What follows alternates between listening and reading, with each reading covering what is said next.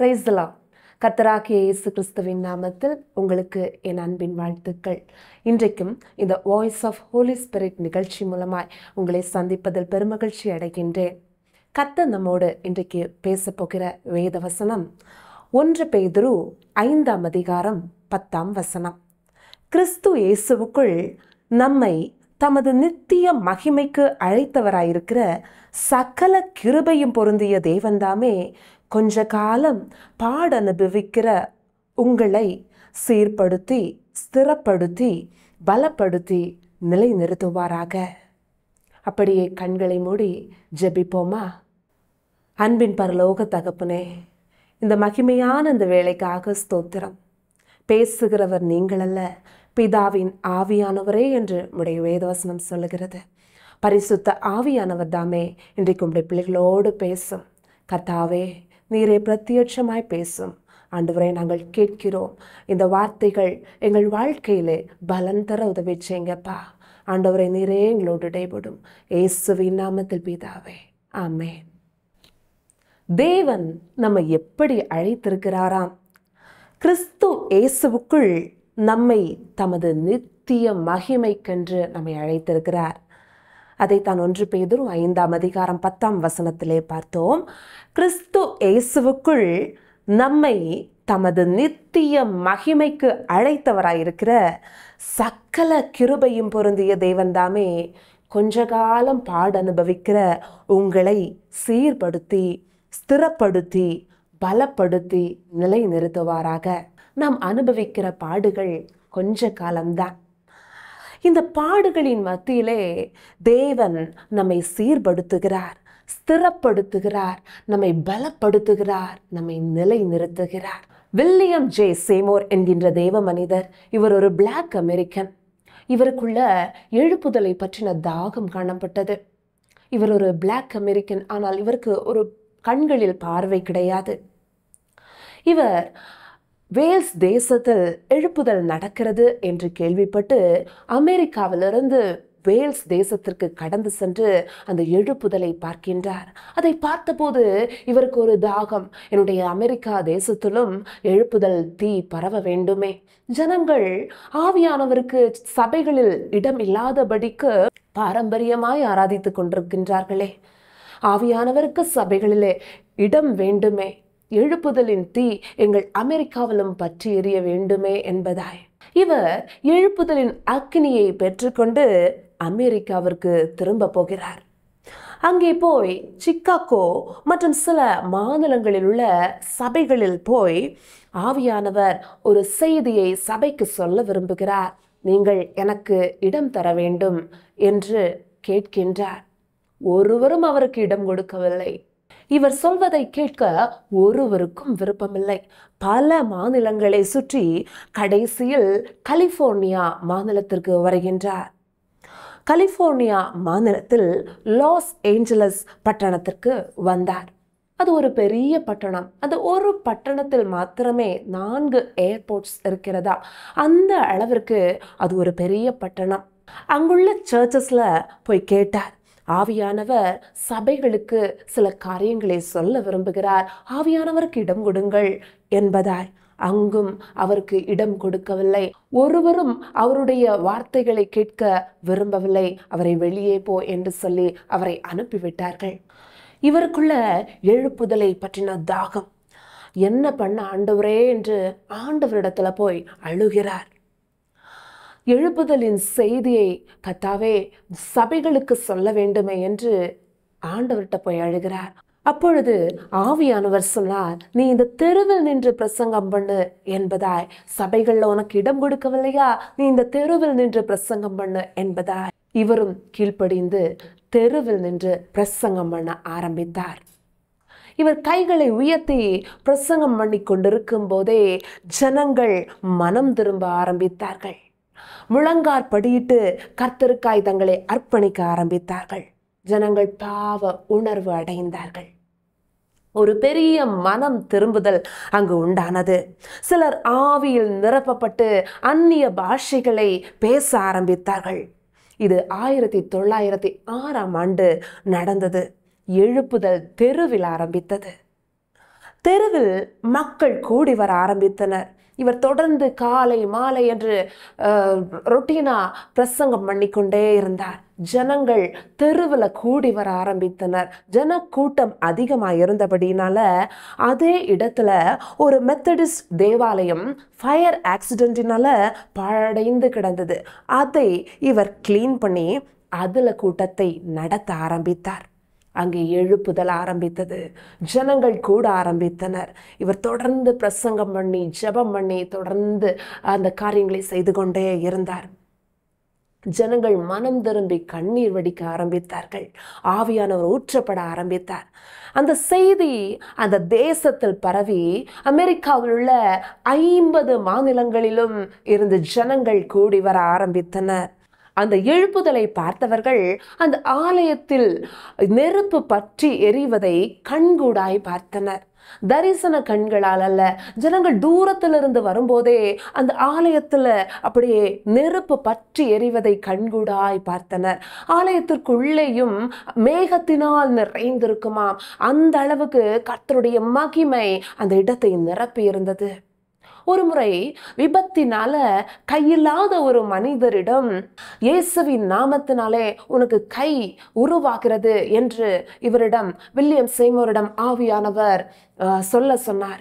இவரும் அப்படியே சொன்னபோது அங்கு அஹ், அவருக்கு கை அந் உருவானது விபத்தில் இழந்த கை அவருக்கு மறுபடியும் உருவானது. கிரியேட்டிவ் மிராக்கிள்ஸ் அந்த இடத்துல நடக்க ஆரம்பித்தது. எழுப்புதல் நாட்களில் அப்படிப்பட்டதான காரியங்கள் நடந்தது.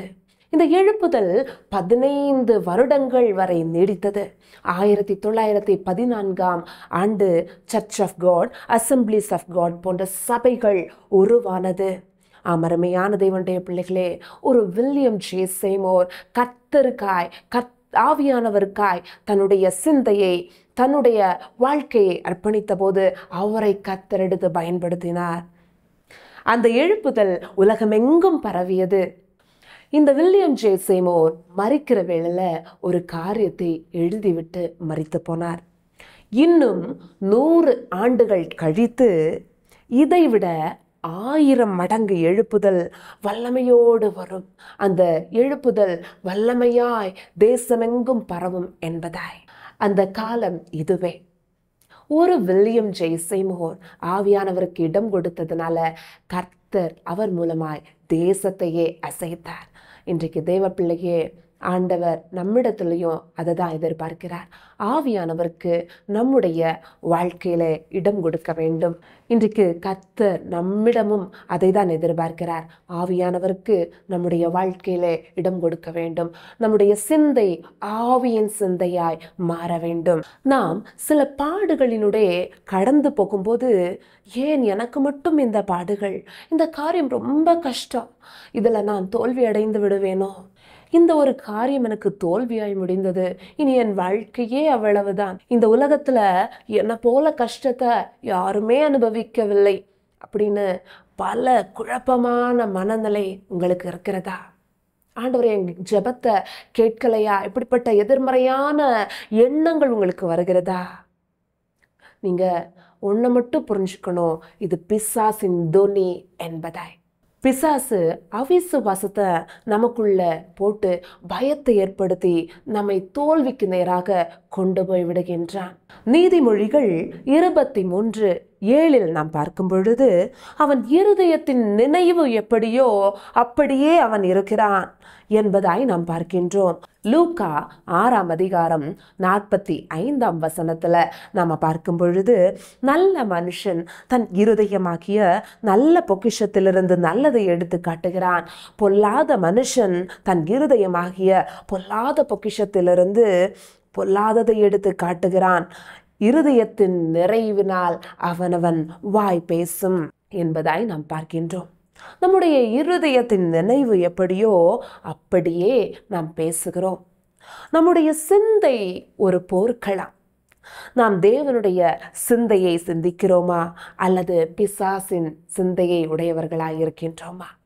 யோசித்து பார்ப்போம். எபேசியர் ஆறாம் அதிகாரம் பனிரெண்டாம் வசனத்தில் நம்ம பார்க்கும் பொழுது ஏனெனில் மாம்சத்தோடும் இரத்தத்தோடும் அல்ல துரைத்தனங்களோடும் அதிகாரங்களோடும் இப்பிரபஞ்சத்தின் அந்தகார லோகாதிபதிகளோடும் வான மண்டலங்களில் உள்ள பொல்லாத ஆவிகளின் சேனைகளோடும் நமக்கு போராட்டம் உண்டு என்பதாய் நாம் பார்க்கின்றோம். ஆம் அருமையான தேவனுடைய பிள்ளைகளே நாம் அனைவரும் ஒரு யுத்த களத்தில் தான் இருக்கிறோம். நம்முடைய எதிராளி மற்ற மனிதர்கள் அல்ல பிசாசு நம்முடைய எதிராளி. நம்முடைய யுத்தம் மாம்சத்தோடும் இரத்தத்தோடும் அல்ல.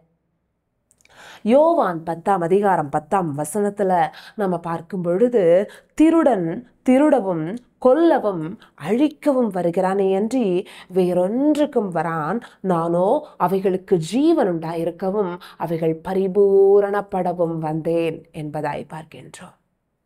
பிசாசு ஒரு பொய்யன். யோவான் எட்டாம் அதிகாரம் நாற்பத்தி நான்காம் வசனத்தில் நாம் பார்க்கும் பொழுது பிசாசு பொய்யனும் பொய்க்கு பிதாவுமாயிருக்கிறான் என்று பார்க்கின்றோம். பிசாசு எப்பொழுதுமே நம்மை பற்றியும் நம்முடைய சூழ்நிலைகளை பற்றியும் தவறான ஒரு சிந்தையை நமக்குள்ளே போட்டு நம்மை தோல்விக்கு நேராக வழி நடத்த பார்க்கின்றான். ஆனால் தேவன் அந்த எதிரான சூழ்நிலையிலும் நமக்கு அற்புதத்தை செய்து நம்மை வாழ வைக்கிறவராயிருக்கிறார் எப்படி என்றால் ஒரு உதாரணத்தை நம்ம பார்க்கும்போது இஸ்ரவேல் மக்களுடைய வனாந்திர யாத்திரையில் முன்னே செங்கடல் பின்னே பார்வோனின் சேனை. சூழ்நிலைகள் எல்லாமே அவர்களுக்கு எதிராய் தான் இருந்தது. ஆனால் தேவனுடைய மனுஷனாக்கிய மோசே கர்த்தரை விசுவாசித்தார். அந்த இடத்துல சூழ்நிலைகள் எதிராக இருந்தாலும் கர்த்தர் அந்த இடத்துல அந்த ஜனங்களுக்கு வழியை திறந்தார். செங்கடலில் வழியை திறந்து செங்கடலிலே அந்த ஜனங்களை நடக்க பண்ணினார். பின்னே பாவோனின் சேனை செங்கடலிலே மூழ்கி மாண்டு போனது. வழி இல்லாத இடத்துல அந்த மக்களுக்கு வழி உண்டானது. கர்த்தர் வழியை திறந்தார். தம்முடைய ஜனங்களை அழகாய் வழி நடத்தினார். அதே போல தான் தேவ பிள்ளையே இன்னைக்கு சூழ்நிலைகள் எல்லாம் உன்னுடைய வாழ்க்கையில் எதிராக இருக்கலாம் எல்லாமே எதிராக இருக்கிறதே நான் என்ன செய்ய முடியும்? எ- ஒரு வழி கூட என் வாழ்க்கையில திறக்காதது போல எல்லாம் அடைபட்டது போல நான் நிற்கின்றேனே. எனக்கு உரிய ஆசீர்வாதத்தை நான் பார்க்க முடியவில்லையே என்று நீ இன்றைக்கு ஏக்கத்தோட கவலையோட கண்ணீரோட இருக்கின்றாயா? தேவன் உனக்கான வழிகளை நிச்சயமாய் திறப்பார். விசுவாசத்தோடு கத்தரை நோக்கி ஜெபம் பண்ணு. விசுவாசத்தோடு கத்தரை நோக்கி ஜெபம் பண்ண. உனக்கான வழிகள் நிச்சயமாய் திறக்கப்படும். ரோமர் எட்டாம் அதிகாரம் ஐந்தாம் வசனத்தில் நம்ம பார்க்கும் பொழுது அன்றியும் மாம்சத்தின்படி நடக்கிறவர்கள் மாம்சத்துக்குரியவைகளை சிந்திக்கிறார்கள். ஆவியின்படி நடக்கிறவர்கள் ஆவிக்குரியவைகளை சிந்திக்கிறார்கள் என்பதாய் பார்க்கின்றோம். அருமையான தேவனுடைய பிள்ளைகளே நம் மாம்சத்தின்படி நடந்தால் மாம்சத்துக்கு உரியவைகளை சிந்திக்கிறோம். ஆவியின்படி நடந்தால் ஆவிக்குரியவைகளை சிந்திக்கிறோம். பரிசுத்த ஆவியானவருக்கு நம்முடைய வாழ்க்கையில் இடம் கொடுக்கும்போது நம்முடைய இருதயத்தை நாம் கொடுக்கும்போது அவர் நமக்குள்ளே இருந்து வாசம் பண்ணுகிறார். ஏனென்றால் வேதவசனம் தெளிவாய் சொல்கிறது நீங்கள் தேவனுடைய ஆலயமாய் இருக்கிறீர்கள் என்பதாய். நம் அவருடைய ஆலயம் அவர் தங்குகிற வாசஸ்தலம் ஆவியின் சிந்தைகளை நாம் சிந்திப்போமானால் வெற்றியுள்ள ஒரு வாழ்க்கையை நிச்சயமாய் வாழ முடியும். ரோமர் எட்டாம் அதிகாரம் ஆறாம் வசனத்தை நாம் பார்க்கும்போது மாம்ச சிந்தை மரணம் ஆவியின் சிந்தையோ ஜீவனும் சமாதானமுமா? நீதிமொழிகள் பதினெட்டு இருபத்தி ஒன்றில் மரணமும் ஜீவனும் நாவின் அதிகாரத்தில் இருக்கும் அதில் பிரியப்படுகிறவர்கள் அதன் கனியை புசிப்பார்கள். ஆம் அருமையான தேவனுடைய பிள்ளைகளே. நாவின் அதிகாரத்தில் இருக்கிறதாம் மரணமும் ஜீவனும்? நம்முடைய வார்த்தைகள் எப்படி காணப்படுகிறது? நம்முடைய இருதயத்திலிருந்து நாம் சிந்திக்கிறது தான் நம்முடைய வார்த்தைகளாக வெளிவரு நம்முடைய இருதயத்தில் நாம் என்ன சிந்திக்கிறோமோ அதுதான் வார்த்தைகளாக வெளிவருகிறது. ஒருவேளை நமக்கு விரோதமாய் சிலர் எழும்பி இருக்கலாம். ஆனால் நாம் நம்முடைய இருதயத்தில் அந்த கசப்பை கசப்பின் அனுபவத்தை வைத்திருக்கும் போது அந்த காயப்பட்ட வார்த்தைகள் தான் நம்முடைய வாயிலிருந்து வெளிவருகிறது. ஆனால் பரிசுத்த ஆவியானவருக்கு இடம் கொடுக்கும்போது நாம் அவர்களை மன்னிக்க அவர் நமக்கு உதவி செய்கிறார். அவர்களையும் ஆசீர்வதிக்க நமக்கு கிருபை தருகிறார். பரிசுத்த ஆவியானவருக்கு நம்ம இடம் கொடுக்கும்போது அவர் நிச்சயமாய் நம்மை வாழாக்காமல் தலையாக்குவார். நாம் கீழாகாமல் நிச்சயம் மேலாவோம். ரோமர் பன்னிரெண்டாம் அதிகாரம் ரெண்டாம் வசனத்தில் நம்ம பார்க்கும் பொழுது நீங்கள் இந்த பிரபஞ்சத்திற்கு ஒத்த வேஷம் தெரியாமல் தேவனுடைய நன்மையும் பிரியமும் பரிபூர்ணமுமான சித்தம் என்னதென்று பகுத்தறியத்தக்கதாக உங்கள் மனம் புதிதாகிறதினாலே மறுரூபமாகுங்கள் என்பதாய் பார்க்கின்றோம். அதாவது ஒரு வெற்றியுள்ள கிறிஸ்தவ வாழ்க்கைக்கு புதுப்பிக்கப்பட்ட தெய்வீக சிந்தை மிகவும் அவசியம். தவறான எதிர்மறையான சிந்தனைகள் நம்முடைய வாழ்க்கையை ஒருவேளை அழிவுக்கு நேராக தோல்வி தோல்விக்கு நேராக வழிநடத்தும். தவறான சிந்தனையினால் வாழ்க்கைகள் சீர்குலைக்கப்படும்.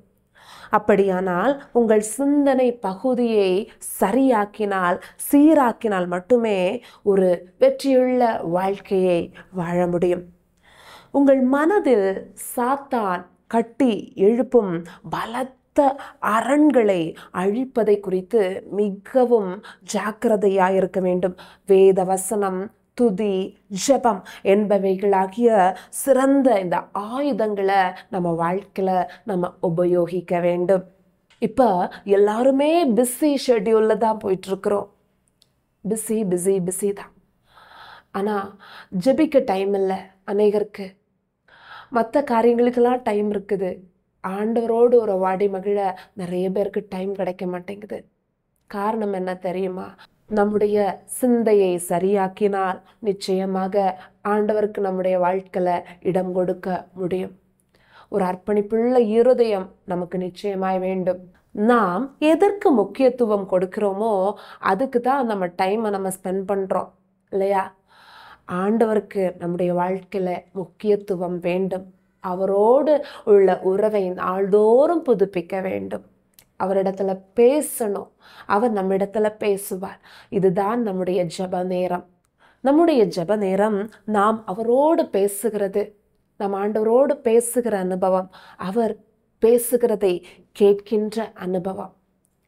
அவரோடு உள்ள அந்த உறவை நாள்தோறும் புதுப்பிக்க வேண்டும். சகரியா நான்காம் அதிகாரம் ஆறாம் வசனத்துல நாம பார்க்கும் பொழுது பலத்தினாலும் அல்ல பராக்கிரமத்தினாலும் அல்ல என்னுடைய ஆவியினாலே ஆகும் என்று சேனைகளின் கத்த சொல்கிறார் என்பதாய் பார்க்கின்றோம். ஆம் பரிசுத்த ஆவியானவர் நம்முடைய பலவீனங்களில் நமக்கு உதவி செய்கிறவர்.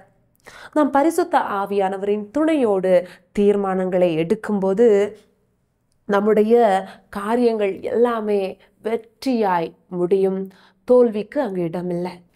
ஏனென்றால் அவர் கரெக்டான பாதையில் நம்மை கைட் பண்ணுவார் நம்மை வழி நடத்துவார். நமக்கு நல்ல ஆலோசகராக இருந்து நம்மை வெற்றியின் பாதையில் நடத்துகிறவராக இருக்கிறார். அருமையான தேவனுடைய பிள்ளைகளே இன்றைக்கு நீங்களும் சில பாடுகளினுடைய கடந்து போய் கொண்டிருக்கலாம்.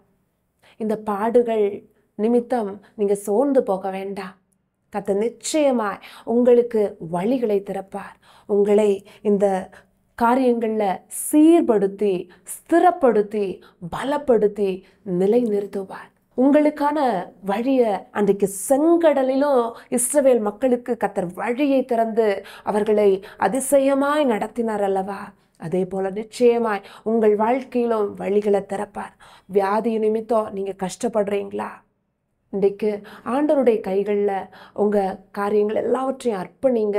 நிச்சயமாக உங்களுக்கு விடுதலையை தந்து உங்களை சாட்சியாய் நிறுத்துவார். அப்படியே ஜெபிப்போமா? அன்பின் பரலோக தகப்பனே இந்த மகிமையான அந்த வேலைக்காக ஸ்தோத்திரம் ஏசப்பா. இன்றைக்கும் எங்களோடு பேசி இருக்கிறீர் நீர் எங்களை பலப்படுத்தி ஸ்திரப்படுத்தி சீர்படுத்தி நிலைநிறுத்துகிற தேவனப்பா. நீர் எங்களுக்கு சகாயம் பண்ணுகிறவரப்பா. ஆண்டவரே இந்த செய்தி வேலையை கத்தாவை நீர் எங்களுக்கு ஆசிர்வாதமாக மாற்றி தந்தபடியால் ஸ்தோத்திரம். எங்களோடு பேசி இருக்கிறபடியால் ஸ்தோத்திரம் கத்தாவே. ஏசப்பா என்னென்ன அப்பா வேண்டுதலோடு உடைய பிள்ளைகள் இந்த சத்தத்தை கேட்டுக்கொண்டிருக்கின்றார்களோ அப்பா அந்த காரியங்களில் ஒரு அற்புத அற்புதத்தை கத்த செய்வீராக கத்தாவே. ஏசப்பா அன்றைக்கு பெரும்பாடுள்ள பெண்ணுக்கு விடுதலையை கொடுத்த தேவன். ஏசப்பா இன்றைக்கு உடைய பிள்ளைகளுக்கு விடுதலையை கொடுக்கிறபடியால் மக்கள் ஸ்தோத்திரம் கத்தாவே. எங்கள் சிந்தை மண்டலங்கள் கத்தாவே பிசாசின் தோனிக்கு நாங்கள் இடம் கொடுக்காதபடிக்கு அவிசுவாசத்தின் காரியங்களுக்கு அவிசுவாசங்களுக்கு இடம் கொடுக்காதபடிக்கு விசுவாசத்தோடுமை தேட கத்தாவே எங்களுக்கு கிருபை தர வேண்டுமாய் ஜெபிக்கிறேனப்பா ஒவ்வொரு பிள்ளைகளையும் கத்தாவே பலப்படுத்துங்க பலப்படுத்துங்க சக்திப்படுத்துங்க. பரிசுத்த ஆவியானவரே அப்பா இப்பொழுதே உடைய பிள்ளைகளை தொடுங்க. ஏசப்பா உம்மால் ஆகாத காரியம் ஒன்றுமே இல்லை. நீர் சொல்ல ஆகும் நீர் கட்டளையிட நிற்கும். மனுஷனால் கூடாதவைகள் உம்மால் கூடும் அப்பா. ஏசப்பா மறித்து போன லாசருவ நான்கு நாட்கள் ஆயிற்று. நாருமே என்றுதான் உலகம் சொன்னது. ஆனால் கர்த்தாவே நீர் வந்தால் சூழ்நிலைகள் மாறும். அந்த மறித்து போன லாசருவை கூட உயிரோடு எழுப்பி அந்த இடத்துல அற்புதமாய் நிறுத்தினீரப்பா அப்படிப்பட்ட அற்புதமான காரியங்களை செய்கிற தேவன் எங்களுடைய தேவன். எங்களுக்காக உடைய ஜீவனையும் ஒப்பு கொடுத்தவர். அப்பா இப்பொழுதே கத்தாவே உடைய பிள்ளைகளுக்கு இருக்கிற எல்லா எதிரான சூழ்நிலைகளும் மாறி அவர்களை வெற்றியுள்ள வாழ்க்கையில கத்தர் வழி நடத்துவீராக தகப்பனே. ஏசப்பா எல்லா போராட்டங்களும் மாறட்டும். கர்த்தாவே ஏசப்பா வியாதியுள்ள கர்த்தாவே அப்பா இடங்களில் கர்த்தாவே இப்படி வல்லமை இறங்கட்டும் கர்த்தாவே. ஏசப்பா எந்த பலவீனமாக இருந்தாலும் அது இப்பொழுதே ஏசப்பா இயேசுவின் நாமத்தில் மாறி போகட்டும் இயேசுவின் நாமத்தினால் அற்புத சுகம் உண்டாகட்டும் கத்தாவே என்னென்ன தேவைகளோடு கத்தாவே குடும்பத்தில் அப்பா போராட்டங்கள் பிரச்சனைகளோட ஏசப்பா மனமுடைந்து போயிருக்கிற பிள்ளைகளை கத்த தொடுங்க ஏசப்பா அவர்கள் குடும்பத்தின் காரியங்களை நீ சீர்படுத்துகிறபடியால் மக்கு நன்றி. அப்பா சந்தோஷத்தையும் சமாதானத்தையும் நீ கொடுத்து நிறைவான பா பாதையில் நடத்துகிறபடியால் ஸ்தோத்திரம். கர்த்தாவே உம்முடைய நாம மகிமைப்படுவதாக நீ வந்திருக்கிற இடங்கள்ல அற்புதங்கள் நடக்கும். பரிசுத்த ஆவியானவர் எங்கே உண்டோ அங்கே விடுதலை உண்டு என்று உடைய வேதவசனம் சொல்லுதுப்பா. அப்பா நீர் வந்திருக்கிறீர் நீர் விடுதலை நடப்பிக்கிறீர். அதற்காக உமக்கு நன்றி. அப்பா நீரை பெரிய காரியங்களை செய்யுங்க. உங்களுடைய கரத்துல தாழ்த்து அர்ப்பணிக்கின்றோம். பெரிய காரியங்களை செய்யும் ஏசுவின் நாமத்தில் பிதாவே. ஆமே கத்ததாமே இந்த வார்த்தைகள் மூலமாய் உங்களை ஆசிர்வதிப்பாராக. ஆமே காட் பிளஸ் யூ